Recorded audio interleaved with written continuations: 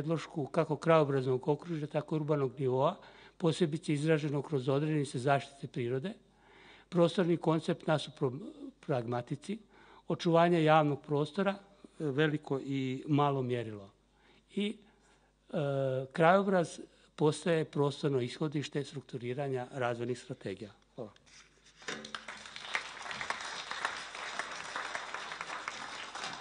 Hvala lijepa na razumijevanju, na produžetku naših termina. Zaključak u jednoj rečenici. Dakle, potrebna je nova paradigma koja osvještava i reinterpretira ulogu krajobraza u sustavu prostornog uređenja. Nadam se da pri tome dijelimo ista opredjeljenja. Hvala na pažnji. Izvolite ako, ako sudac dopusti ovo s produžeci već.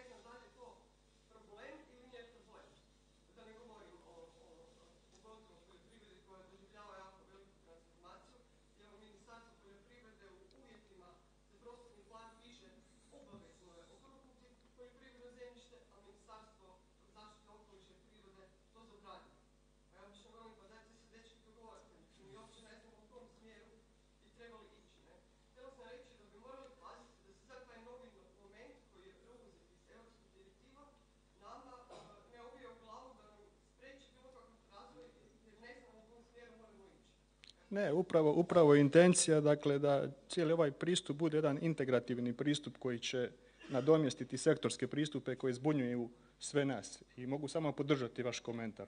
Hvala lijepa. Pa evo, izvolite, kratko pridružite se. Biću malo...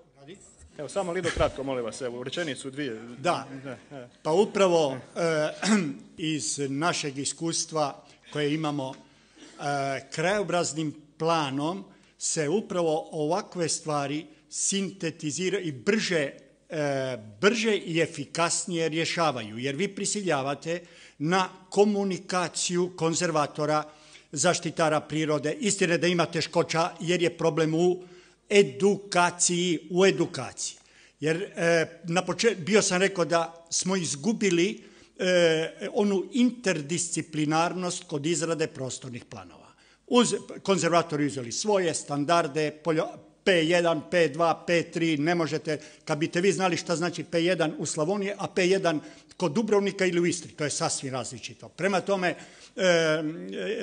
i ja koji radim na tim imam problem, ali je problem da e, krajobraznim planiranjem ovo mi ubrzavamo proces i gledamo proaktivno da, da, da se kroz zaštitu može e, gleda razvoj, razvojno i vi prisiljavate na komunikaciju i onu i integralno sagledavanje e, tim dokumentom prisiljavate. Naime, primoravate da i onaj konzervator, molim, ma ne samo argumentirati, nego i... Lido, hvala u Hvala Mislim, nažalost, ne, možemo dužiti. Činjenica, sustav je rigidan, sustav je krut. E, borimo se zajedno promijeniti ga, napraviti ga fleksibilnijeg. Da li ćemo uspjeti, vidjet ćemo, naravno.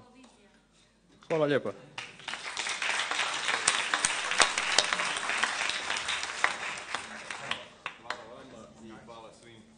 Hvala E, bio je to zadnji okrugli stol, hvala vam lijepa. E, zadnji okrugli stol na ovom kongresu. Ostalo je još samo kratko vremena za zaključke, a njih će nam prenijeti e, trojka koja je barem među najzaslužnijima, ako već i ne najzaslužniji. Hrvoj, ti se spustaš odatle.